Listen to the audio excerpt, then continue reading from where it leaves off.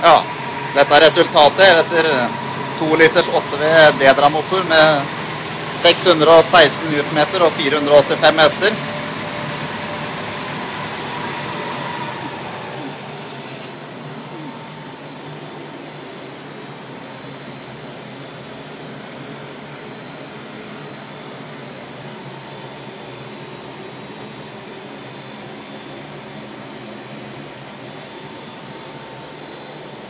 Ups.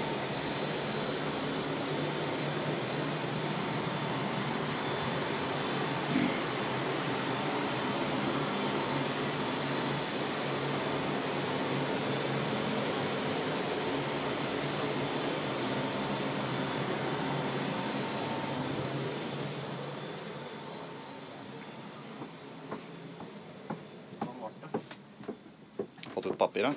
Ja, 617 Newton. Det Newton mer på den? 617 Newton, ja. 485 hester.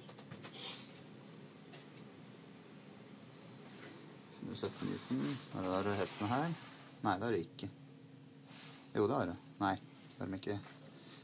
Ok.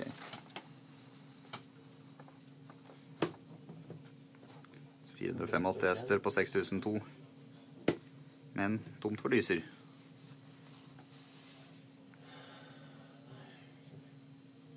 2,25 bar.